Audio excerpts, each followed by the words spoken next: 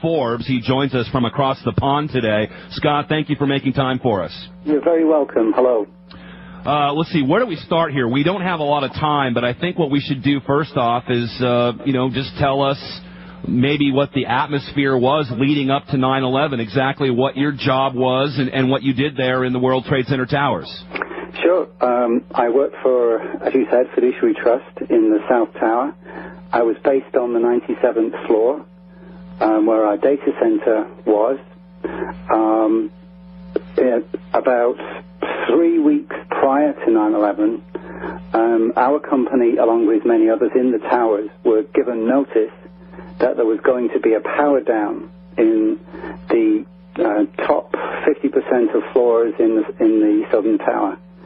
Um, this was unprecedented. Um, as you can imagine, a lot of financial institutions um, in the building, and to have a complete loss of power meant a complete loss of systems. And for an organization like my company, it was truly extraordinary. I mean, people were probably scrambling uh, as soon as they could to, to secure their systems before the power down. Yep, that was part of the deal. Um, Have there been? Uh, let me let me because for the sake of time, I want to keep this moving as much as possible. Scott, had there been any power downs like this? Again, uh, you were notified by the Port Authority there'd be a 36-hour power down at the top half of your tower. Uh, had there been anything like this prior to this particular power down and exactly give us a time frame of, of when you were notified about the power down as related to 9-11. What was the date of the power down and had there been one prior to this? Okay. The power down was on the Saturday and Sunday prior to 9-11, so that would have been the 8th and 9th of September. We were given three weeks notice. It was relatively uh, short time uh, notice period to make all the preparations needed. And um, it was unprecedented. We'd never experienced a power down in the towers, as far as I am aware. I had worked in the towers from 1998. Um, my colleagues who had been in, in the building well beyond that could n- not remember an occasion such as this, apart from the bomb incident in the early 90s. Well, let's uh, let's move to this, uh, Scott, because now the repair, now the power has been down, and you see a number of maintenance workers coming into the building. What was uh, what was in your mind suspicious or notably suspicious about some of these workers coming in to uh, come in for the power down? Actually, at the time, I wasn't suspicious at all. Um, it was just part of the fact that there was a power down and that there were um, workers in overalls um, in the building. But looking back now, uh, you noticed that there were some suspicious behavior with these workers. Well, of course, looking back, you, you question everything, and uh, you wonder.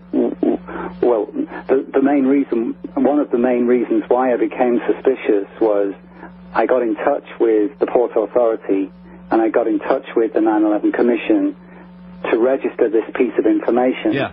so that it would be acknowledged uh, if only to be thrown away. And I had no acknowledgement. Um, they did not come back to me. I repeatedly called and wrote letters to them. I've had no acknowledgement. Um, it's as if this information is um, of no interest to anyone, but to me it seems to be part of the puzzle and should be registered.